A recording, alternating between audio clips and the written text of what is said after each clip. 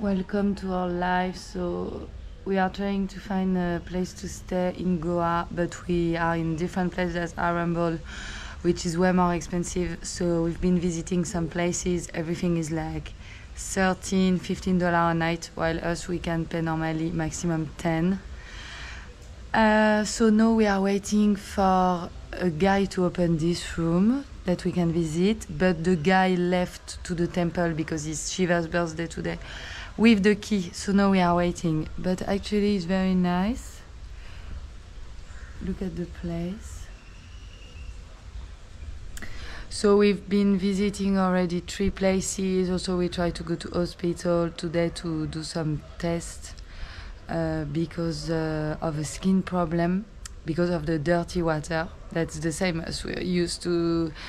Such a level of comfort that uh, when you clean yourself with uh, dirty water after months, uh, you get uh, skin problem. And uh, what else try we try to do? I don't remember. Do some shopping, uh, and yeah, visiting the place, find the beach. I'm want to die, but it's okay. It's just taking so long. Hopefully the guy will come soon. Who knows? Inshallah. And happy birthday, Shiva. So I take advantage of this moment to make the video about uh, what do you have to do when you arrive in a new country. So first of all, you need a SIM card uh, because you need to have internet to download all the apps that help you to save money. Uh, like the local Uber. So yes, like this, you can get out of the airport with the cheapest rate to go to town. You don't pay like fifteen dollar. You pay like five dollar because it's never more. Uh, but if you don't know the price, then the guys they will try charge you a lot, which is fair enough because that's part of the game. Then the second thing that uh, you have to do is uh, to find a place to stay. Um, especially if you're a teacher, you need a place with internet, and if you have uh, electronics, you need a place with AC, because your electronic don't like uh, this kind of climate. I mean, come on, guys, we are literally in the jungle. So yes, that's the the thing. You need to have a place to stay for the first like uh, first night or first two nights, and then you can be uh, looking for another place. Um, because you will walk around in the first days and you will be like, oh, I like this place, this little district or something, and then you will be like, okay, I need to move here. If you're alone, you're gonna save so much money because you can just take a dorm bed and uh, you don't have to pay a room. And so your dorm bed is going to be maximum uh, one to five dollar a night. So that's great. And uh, yes then you need to eat you need to try not to be sick before leaving before arriving in a country what you need to check is uh, how to get your visa what kind of visa how much it costs uh, what do you need to get your visa. Sometimes you just need to go in the country and they do your visa at entrance.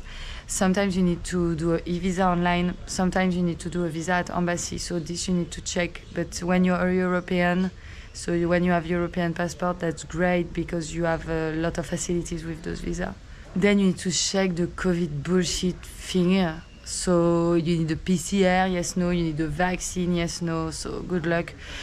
Um, and then uh, you take your plane ticket. And uh, so how to have the cheapest plane ticket. So me my technique is that i go to skyscanner and a website like this. But at the moment i really use skyscanner um, and then they will redirect you to online travel agency on which you have the best rate. But first of all if you want to save money you need to even if you take two days to go to your place. Sometimes you need even to stay a few days in a place. Um, and then yeah you just need to check all the dates. So you need to check from different airports. Yes? I will give it uh, one minute till five and then go. yeah okay i'm i'm fine Uh, let me see what the place is. Yes, I know, my love. I'm waiting downstairs because I can't be bothered to go upstairs again. The guy is still not here, putain. F off. Okay, we see. I don't think we will ever see this room in our life.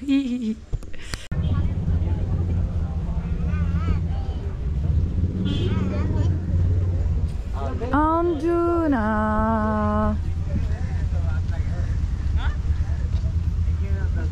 is a like a rocky beach bar bar famous it's a lot of doggies here. Low tide. It's always low tide since we're here. Sunset. Oh, salut! Salut! So we visited four places.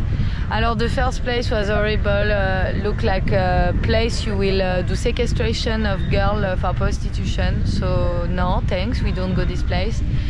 Second place was nice. I really like a lot of uh, jungle. Uh, it's where I filmed before. Third place was so fancy and nice, but they all do a surprise. Huh? But uh, the guy is a bit too fancy for me. I don't like the vibe. And the last place was the best. Like uh, it's the place where Daphne told me to go anyway. So that's always this. Listen to your friend.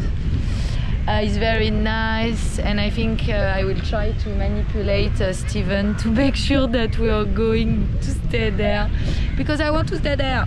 So then you will see the place. I will show you. But for the time being, we take a rest on the beach, waiting for the sunset. That's gonna happen soon. Oh, mon amour! I'm being attacked by a doggy. Look at this. Ah, it's a go alive sunset every day.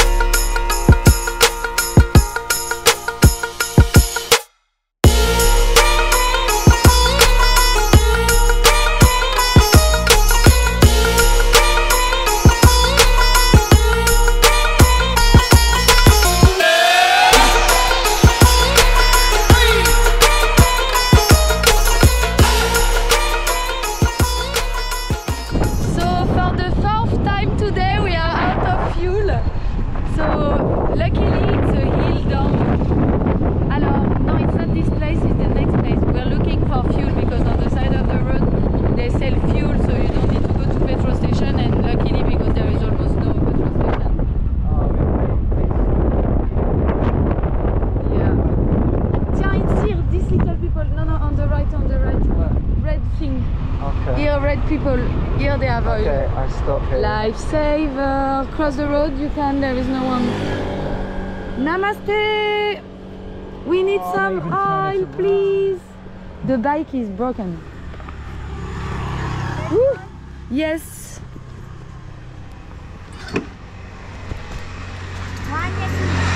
Just one.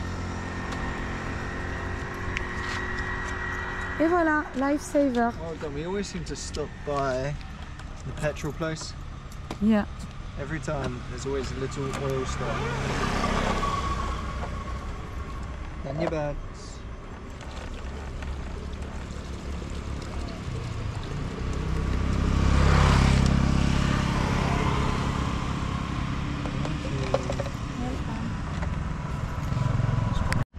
Alors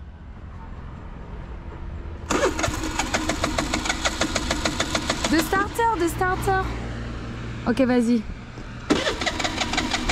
Pull it, pull, pull, pull. I'm pulling. Harder. No.